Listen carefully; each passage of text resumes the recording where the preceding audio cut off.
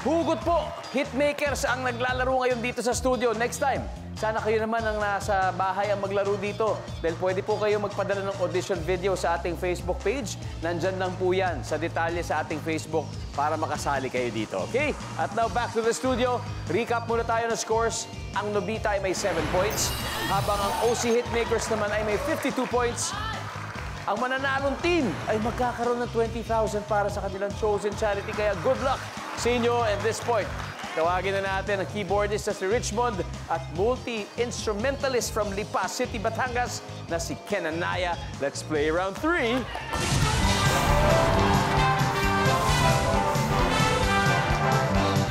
Guys, good luck. Double points round. Here's your question. Top five answers are on the board. Name something na binabrush. Go.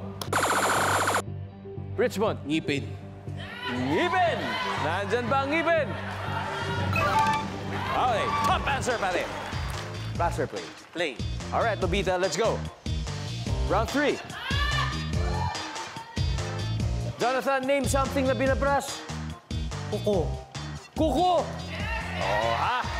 Nandyan ba ang kuko? Pwede, nandyan. Jason, name something na binabrush.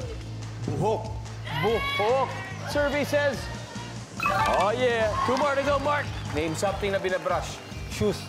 Sapatos. Sapatos. Sa bagay pag, pag pinakikintab.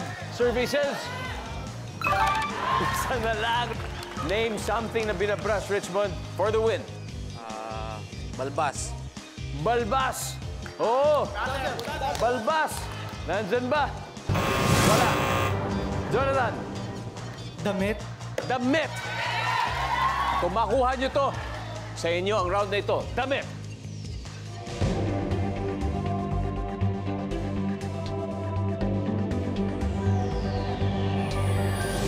Malalaman natin kung nandyan ang damit sa pagbabalik ng Family Feud.